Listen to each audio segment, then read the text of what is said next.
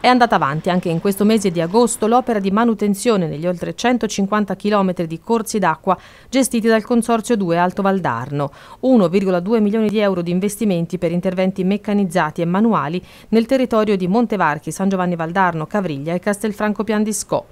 Nelle prossime settimane altri cantieri si apriranno in Valdambra e nei territori di Loro Ciuffenna, Terranuova Bracciolini, Laterina e Pergine Valdarno, poi toccherà all'Arno. Grande attenzione soprattutto per le aree collinari dove la manutenzione è fondamentale per ridurre il rischio idraulico. Devo precisare che i lavori sono iniziati a partire dal primo di luglio perché fino al primo luglio c'era il blocco dei tagli e quindi non era possibile intervenire sull'albero fluviale proprio per garantire la nidificazione degli uccelli e della fauna selvatica. Per quanto riguarda il Valdarno abbiamo investimenti per 1.200.000 euro, sono circa 150 km di corsi d'acqua che verranno manutenuti eh, da ora fino alla fine dell'anno, circa 400.000 euro verranno non gestiti direttamente dal Consorzio di Bonifica ma dall'Unione dei Comuni del Prato Magno e questo come prevede la legge 79 attraverso una convenzione che appunto abbiamo stipulato con l'Unione dei Comuni. E nel versante fiorentino sono eh, già interessati dai lavori i comuni di Figline, Incisa Valdarno e di Reggello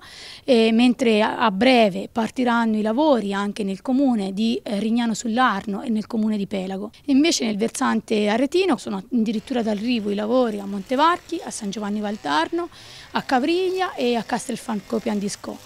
mentre partiranno nei prossimi giorni i lavori a Castiglion Fibocchi, a Loro Ciuffenna, a Terrano Bracciolini e a Laterina Pergine Valdaro. Al momento siamo circa alla realizzazione di un 30% de dell'importo complessivo e il rimanente 70% verrà terminato, così come ci chiede la Regione Toscana, entro il 31-12.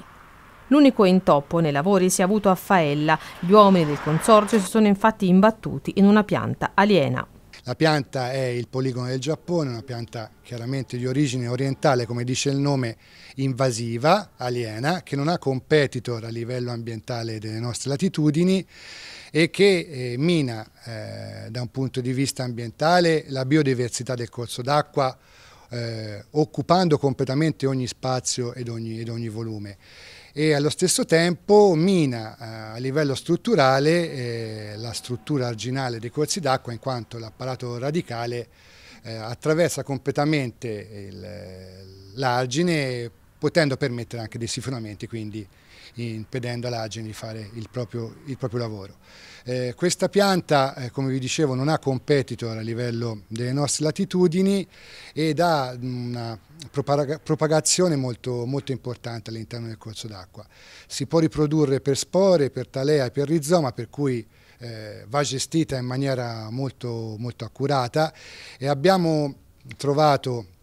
il sistema di limitare, non di abbattere la popolazione di piante, ma di limitare la propagazione di questa pianta infestante affrontando il suo taglio durante il riposo vegetativo, per cui nel periodo che va da ottobre, da ottobre a febbraio.